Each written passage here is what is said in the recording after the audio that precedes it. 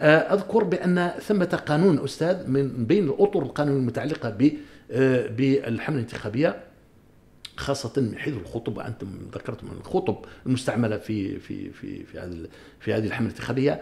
آه هذا هذا القانون يسمى بقانون الوقاية من التمييز والوقاية من خطاب التمييز والكراهية. صدر سنة 2020 بموجب القانون 2005 على ما أعتقد. 2005 نعم.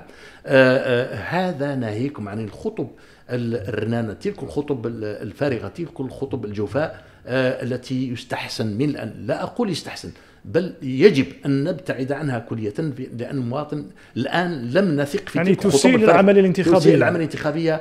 تقدم وعودا وعودا وتقلل من شأنها. تقلل من شأنها. هذا منصب رئيس الجمهورية إخواننا لابد نعم.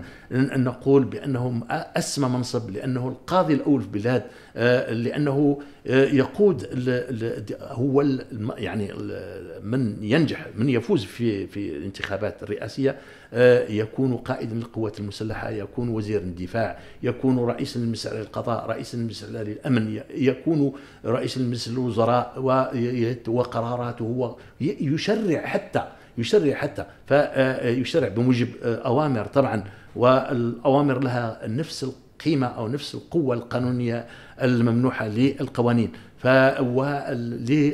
لهذا المنصب قدسية هامة واحترام كبير. فلا ينبغي أن أن نجعله مطية للسخرية كما كان يفعل البعض. إذا نعم. تذكر أستاذ يعني الحد السخرية نعم. يعني. يعني يعني آه، مجموعه مجموعة من المترشحين استخفاف استخفاف يعملوا يعملوا يعملوا كما يسموه يعملوا لاشان أمام وزارة الداخلية طوابير. طوابير إما لسحب الاستمارات أو لدفع الكرتونات وكذا ويعني مظاهر تسيء لسمعة البلد.